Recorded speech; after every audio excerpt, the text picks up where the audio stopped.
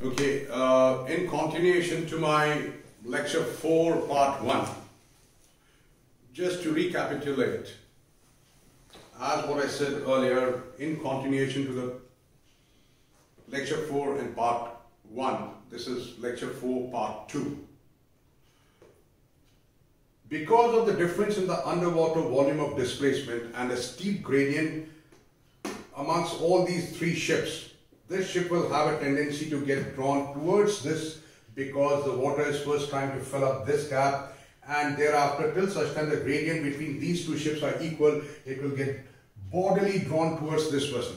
And of course, as we said earlier in part 1 of my lecture 4, that this, this ship will have a horrendous amount of uh, uh, kind of time for her maneuvering. She will get very fast because once, one is that, one factor is that she is going down south proceeding towards this direction. Number two, because of this suction or the vacuum which is created over here, because of the underwater volume of displacement of this ship, this ship will have horrendous amount of time to get bodily drifted towards this vessel. That is one of the reasons that it is very much advisable to keep the vessels at safe distance though everywhere out at sea. But in particular, in the shallow waters, in the restricted waters. We have seen many a time the ships are passing close enough. The speed is, speed, speed is high. Speed is another factor because the speed at which this one is going, taking into consideration that she doesn't have any UKC problem. If the speed is higher, the water filling up rate will be higher and there will be a big vacuum created throughout this area, throughout the area of her transit. I hope I've been able to make this clear as what I can understand. If not, please do let me know. Now, before I come to explain you the words like bow cushioning effect, we need to understand few basics. I will be coming back in a very extensive manner as far as the bow cushioning effect is concerned. That is the reason I'm reserving this lecture for my next lecture. Prior to that, we will shift to the right side of the board. See what is happening in the narrow channels when we talk about the effect of squat. This is the vessel, let's say she, she has got a block coefficient of more than 0.7 more than 0.7, the block coefficient, because of which she will be squatting by head. Now see what is happening, that the water is, because she's dipping down from the bow, the water is passing from the bow because there is a constriction. Think of this as a pipe, what I've drawn with a blue marker. This being as a pipe. Here, you can see the pipe is getting constricted over here and opening over here. So, because of this constriction, there is a low pressure over here at the bow and high pressure created at the stern or after the midship part of the vessel because of which she is automatically getting tipped. One is because of the squat, another thing is because of the high pressure here. That is the reason when we calculate squat for restricted waters, it has got a factor of 2. That is 2 CBV square by 100. Therefore, the effect of squat enhances considerably in the restricted waters.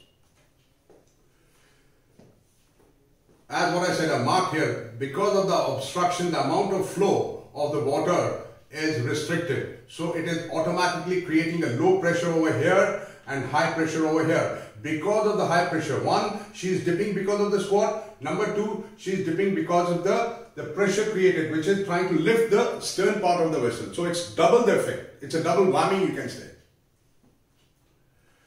Now, all this while, in this part I discussed the underwater volume of displacement. What actually do we understand by the meaning of underwater volume of displacement? And pertaining to that, what do we understand with the center of buoyancy? Underwater volume of displacement is that void what we talked about, what she, how much she's drawing and what is the displacement, that, that much area of the water she's covering and creating a void, as we said earlier. now, Oh, over here, when we talk about the center of buoyancy, conversely speaking, center of buoyancy is nothing but center of gravity of the underwater volume of displacement. Like we have center of gravity for the vessel, for the load what she is carrying and then you have a center of gravity. Likewise, conversely speaking, center of buoyancy is the center of gravity of the underwater volume of displacement. This part I discussed in my previous lecture also that if the block coefficient is 0.7 she will sink bodily and if the block coefficient is less than 0.7 she will go by stern and if the block coefficient is more than 0.7 she will uh, sink by bow, by head. Remember, the effect of squat is a combination of sinkage because of squat and speed plus the change of trim. So let me repeat. The effect of squat is a combination of vertical sinkage as well as because of the changes of trim. Because when the vessel is let's say on an even keel and when she's tipping by head in case of this particular ship when the block coefficient is more than 0.7 the underwater volume of displacement is changing not the dead weight. It's the underwater volume of displacement is changing because of which, see, when the ship is uh, even keel, the center of gravity and center of buoyancy are in line. So she is on even keel.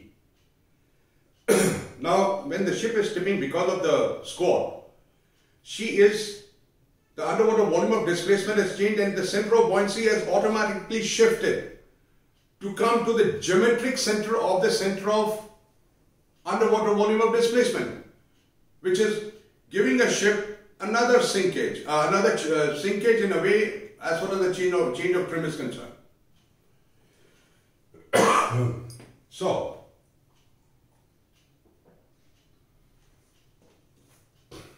other thing is also, which we cannot undermine is the blockage factor.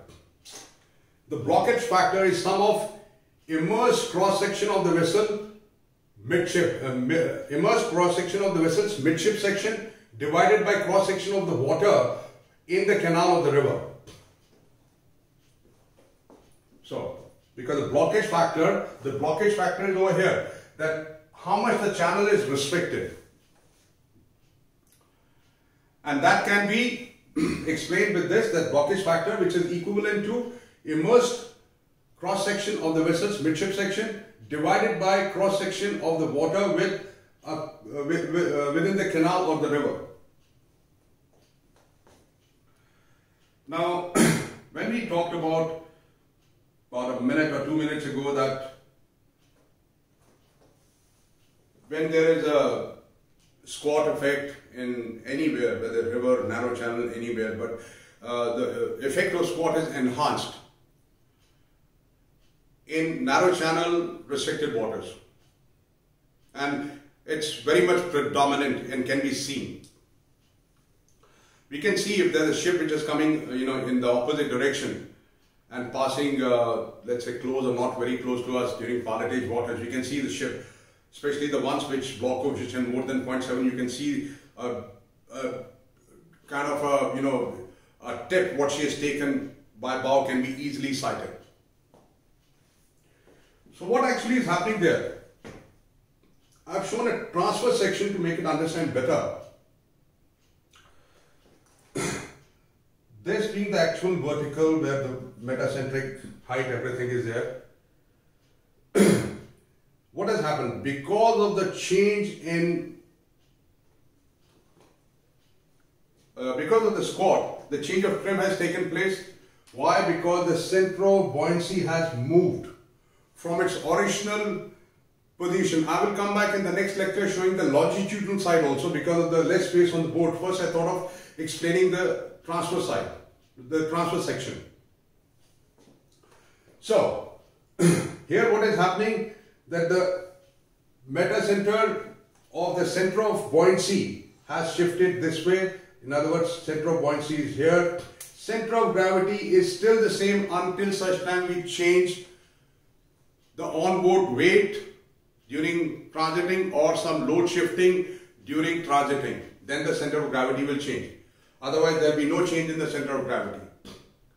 It's because of the center of buoyancy, change in the center of buoyancy, the tipping thing take place, takes place. So, the center of buoyancy, which is the force acting upwards, center of gravity, which is acting downwards.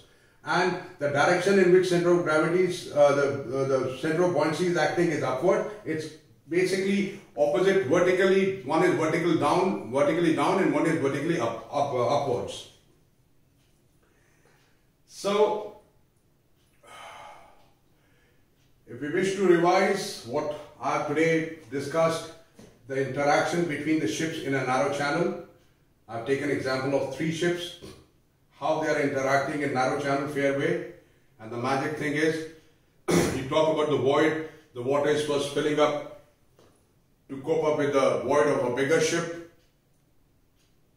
and as as long as the gradient is steep enough, these ships will have kind of a virtual or maybe physical tendency to get sucked into this ship. And also, speed is a factor. If she's doing very, uh, let's say, considerable amount of speed, as long as she doesn't have any restriction of uh, her UKC uh, policies or UKC is not uh, affecting her, then this effect will be multiplied in a narrow channel fairway. So you can understand what in my last lecture I had explained about the overtaking vessel. Suppose if the similar scenario we reproduce in a narrow channel, you can understand what effect would it be. So dear all, thank you very much. Stay safe. And please do let me know about your queries because basis which only I will be coming back with the lectures to, to help you to resolve your queries. And please do not hesitate to ask me whatever you wish to. And also do not forget to go to my page Marine Quest Solution on Facebook as well as you can go on YouTube where I'll be uploading all these videos. You go to the search engine Marine Quest Solutions and like and subscribe. Thank you very much.